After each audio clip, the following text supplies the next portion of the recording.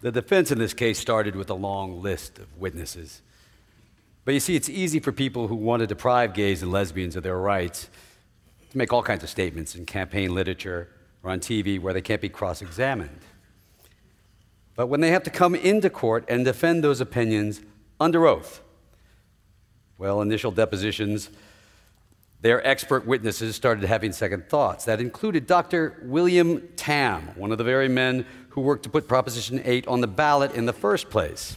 Yes. Let me go down to point four, where you say that countries that legalized same sex marriage saw alarming moral decline. You believe that after the Netherlands legalized same sex marriage, the Netherlands went on after that to legalize incest and polygamy and. I mean, who told you that, sir? It's in the internet.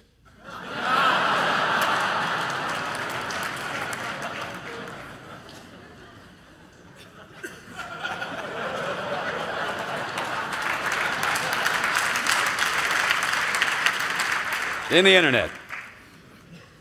And you just put it out there to convince voters to vote for Proposition 8. Yeah.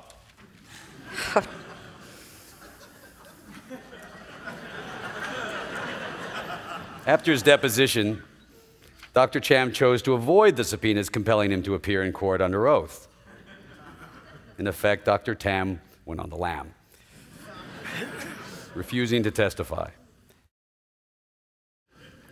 And when you say, based on the scholars that have studied this, that's because you're simply repeating the things that these scholars say. You're just a transmitter of the findings of these scholars. Is well, that correct? Now you're, you're putting words in my mouth. No, sir. Yes, sir. I was simply trying to report the view of some scholars that I was basing my arguments on. I'm saying there are scholars, respected scholars, who have made this argument based on ethnographic research, and I've read them, and that's the basis for my assertion. Your That's Honor, could I ask this witness be instructed to listen to the question, answer my question, and not make a statement that is not responsive to the question, even if he believes it's important? I don't need such instruction. That's what that my intention is to do exactly that. Mr. Blankenhorn, one of the instructions that the court gives to the jury when an expert witness testifies is to consider the witness's background, training, and all the other evidence in the case. And that other evidence includes the demeanor of the witness. So I would urge you to pay close attention to Mr. Boies's questions and to answer them directly, succinctly. So bear that in mind. Yes, sir, I will.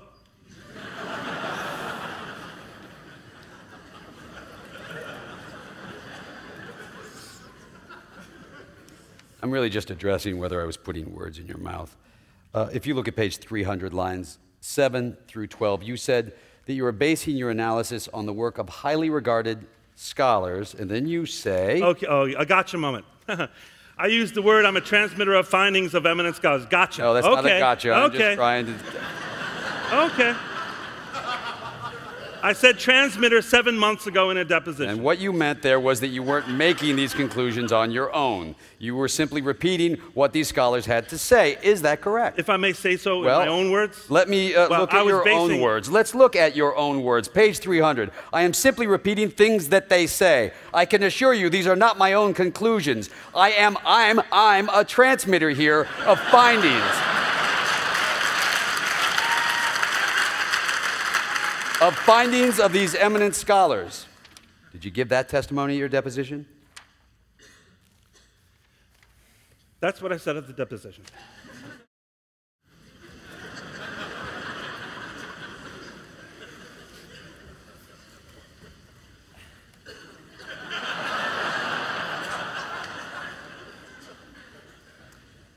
Now, you believe that gays and lesbians today are raising children, correct? Of course, yes. And in fact, hundreds of thousands of children are being raised by gay and lesbian couples. Is that correct? I don't know how many. Did you ever try to find out? I did. And were you able to make an approximation? I was. Yes, sir, I was. And what was that approximation? I can't recall. Can you recall approximately? No, sir. Okay. The studies show that all things being equal, two adoptive parents raising a child from birth will do as well as two biological parents raising a child from birth, correct? No, sir, that's incorrect. Well, sir, Well, may, may I say another word on that? you'll that? have an opportunity to redirect. Okay, well, it was a clarifying thing and it actually supports something you just said.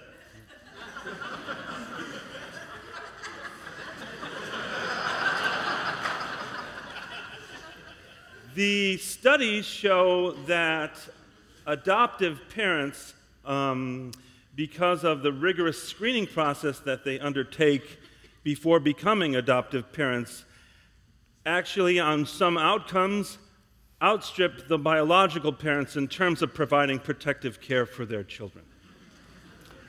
Yes, I was going to come to that. I appreciate you for getting there. now, in binder number one, we have a copy of your book, Future of Marriage. And the last two sentences.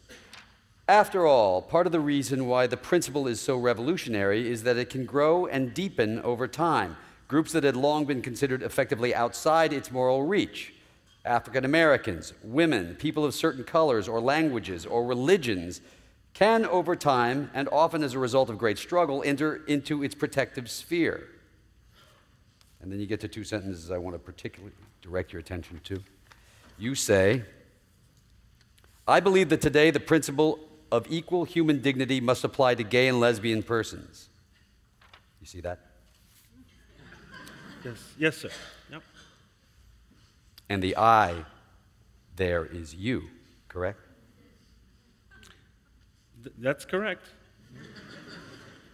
And you say that, in that sense, insofar as we are a nation founded on this principle, we would be more, emphasize more, American on the day we permitted same sex marriage than we were on the day before.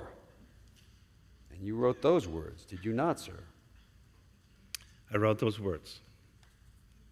You believe them to be correct? Yes, uh, yes, I now believe them. That's correct.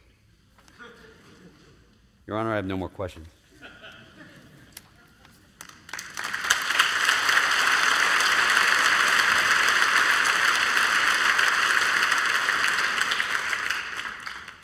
When they, they come into court and they have to support and defend their opinions under oath and cross examination, those opinions just melt away. There simply wasn't any evidence, there weren't any empirical studies. It's made up, it's junk science.